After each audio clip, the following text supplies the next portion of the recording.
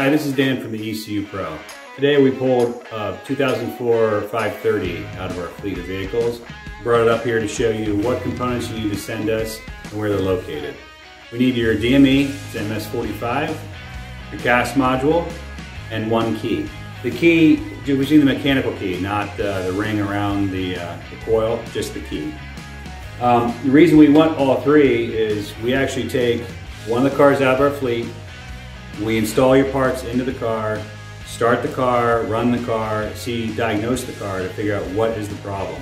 If there's no problem, we charge you a small test fee, ship all the components back so you can go to your mechanic and figure out what else is wrong with your car. If there is a problem, we can repair your DME, or if the CAS module and DME need synced, we can do that. Or if it's water damage, we can clone it to a replacement.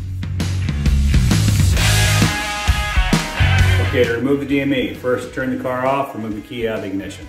Pop the hood. In the left corner of your engine bay will be this black box. A couple screws on top, take them off. You see some components there. Your DME is sitting here. It's the small five plug, they're black. Take the plugs out, pull the DME out. They're held on by two plastic clips. It's very easy. Pull it out.